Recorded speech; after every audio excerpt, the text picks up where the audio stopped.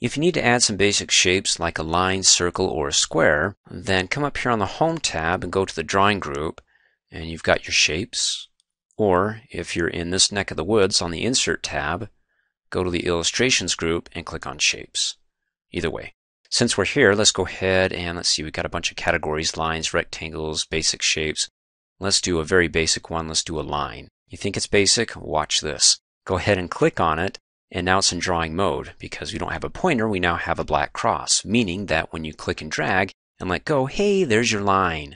And then if you want to get rid of it, well, with it selected, how do you know it's selected? Because it has the resizing handles on either end, the circles, then you can hit the delete key and get rid of it. If you click off of it, a couple of things happen. One, it no longer has the handles to let you know that you have it selected. And also, I don't know if you saw it, but up here it had its related contextual format tab, meaning that the commands on there are for what you have selected here, this shape. So select it, and hey, it brings it back up. So with it selected, if I hit the delete key, it's gone. Let's go ahead and redraw it. Home tab, Drawing Group, Shapes. Select the line, click, and then click and drag. Now, before I let go of the mouse, this time, when I'm moving it around, if I hold down the Shift key, it does it in increments of 45 degrees. Isn't that cool? So if you really want it flat, hold down the Shift key to help you out, or at a 45 degree angle. I'm going to let go of the Shift key and do it as thus. And then if I don't like the color of it, the thickness of it, to make some changes there, let's see what it's got. I would say go to the Format tab. You can also do this on the Home tab because in the Drawing group, you do have the color of the line. It's called outline, but if we had a circle or a square, it would be the outline of the circle and square, but since it's a line, well, it's the actual line. So you've got the color for the lines, right? Or the line. Then you have the shape effects, you see that, and then let's click off. Then you have the quick styles, which is a collection of formats. You can hover over it to give you a preview of it. That one's intense. Ooh, intense line accent too. So that's the name of that. In any case, you can do it there if you're on the Home tab, or come up here, click on the Format tab, and go to the Shape Styles, and it's the same thing, right? Click on the More button, and you get your intense accent too. I'm not going to do that. Let me click off. And you got your shape outline. Click on it, and you can do something. Let's do red. And then click on it again because we get more options. You can go to no color at all no outline, and it totally disappears. You can use the eyedropper to select a color from anywhere on your slide and have it update to what you have here. So like, you know, the blue-gray will update that line to the blue-gray. You can change the thickness of it, you know, make it something thicker. But if you want something even more than what you see there, then click on the shape outline again. Go down to weight and then go down to more. Now when you see more, that means it's going to open up the task pane and give you more. And so over here, in addition to what was available up here on the drop down, it's also over here, but we also get transparency, which we didn't have before. So we can click and drag that. And ooh, that's kind of spooky how it just fades in the background there slightly. And then change the, well, when I click in the box here, you can see it can go up to, oops, did it again, 1,584 points. That's a lot of points. So you can use the spin dial options to make it thicker. And let's see, what else do you get? You have the dash type, and also let's see the compound. Ooh, if you want to make a double here, double line, and it goes to double, I'm going to undo that. And let's do the dash type and make it something, ooh, rounded dot. Let's see how that looks. Uh, it's okay. It's up to you. And again, you can click on the drop down here and you can change the dashes there. So the cap type, when I click off of it, you see how it's square? Of course, now since I don't have it selected, I don't get the related contextual format tab, and it updates the task pane to the background, which is my black to, let's see, blue-gray. You can see it over here, the gradient goes from black, kind of gets a little bit not as black here than to the blue-gray. So if I go ahead and select my line, then it updates it over here so I can make my changes to the selection. And so we've got the cap type as flat. If I want to make it round, and click off, now it's round, well, everything's round, so it's not capped the line itself and also the outer ends. Let's go ahead and select it. And then if you want to give it an arrow, you can do it at the beginning. Now, what is the beginning? Is it this end or that end? Well, click on it and then select it, and it's that end. And if you're like, no, I don't want it that end, then change it back to no arrow, and then go down to the end arrow and flip it so it's at the other end. You can do it that way, or again, come up here, click on Shape Outline, and there's your arrow options to one end or the other, or both ends for that matter. Or you can go ahead and select more arrows, but when you do that, again, when you're doing something more, it comes and opens up, since it's already open, the format shape. Task pane. Okay, let's go ahead and close out of here and try to keep it simple. Next, we've got our shape effects. You can give it shadow. It's not going to help me here because of the dark background, but if you wanted to, find some shadow. And if you want more options, then again, it's going to open up the task pane to give you more options here. Let's go ahead and close out of that. Shape effects, reflection, if you want one, glow. Let's do something purplish. Ooh, that's kind of eerily cool. And let's see what other effects do you have soft edges, bevel, hover over those and just go through those and know that if you don't like what you see here, check down at the bottom to see if you can open up that task pane and get more options for 3D.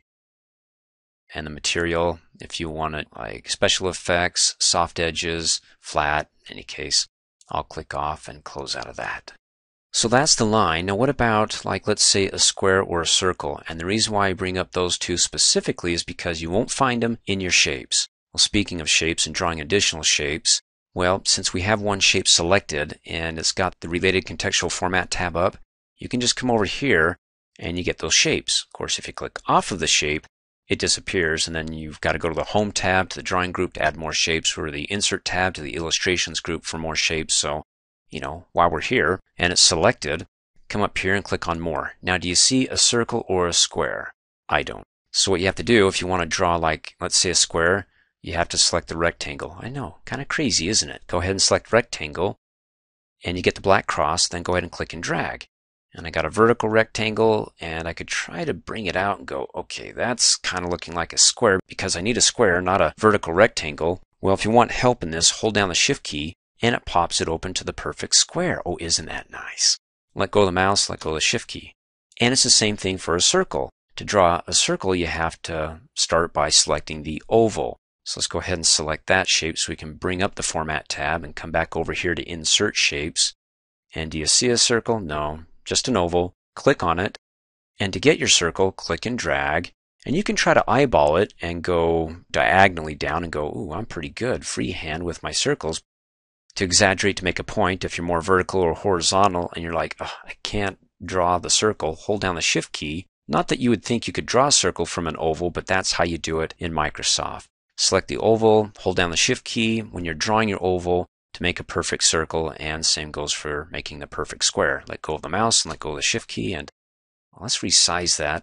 Hover in the bottom right hand corner of the circle and click and drag to push it in. But when I push it in, if I go too far to the left, I get a more vertical oval and too far up and to the right. So when you're resizing it, hold down the shift key and then push it in and then let go of the mouse and let go of the shift key.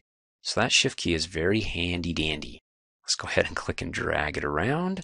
And then, of course, with your shapes, your circle, your square, just like the line, up here on the Format tab in the Shape Styles group, click on the More button and you get your pre-formatted themes like Subtle Effect Gold Accent 3. Ooh, that's kind of cool. Looks like a spooky moon. Select that. I can go with that.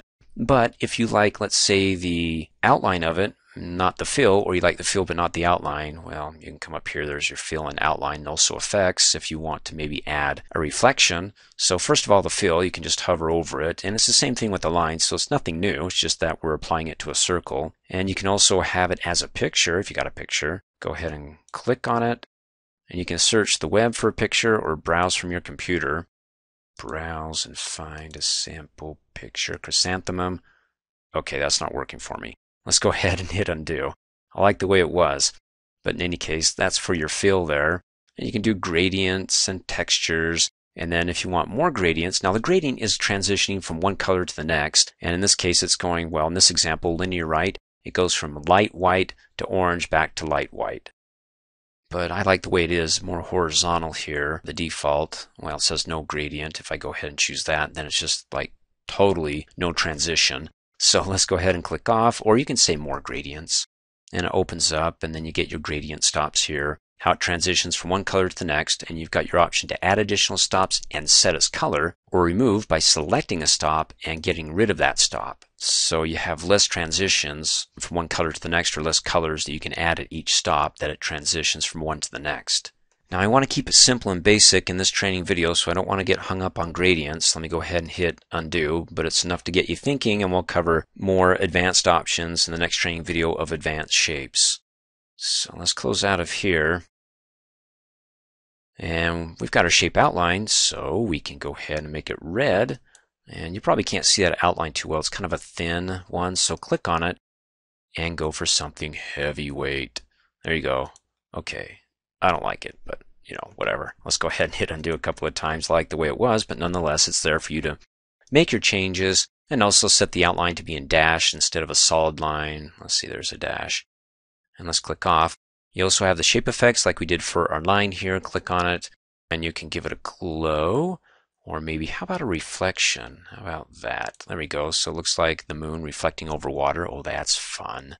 And then if you want more options, what you see here, again, you can click on the drop down arrow, like for effects, outline, or fill.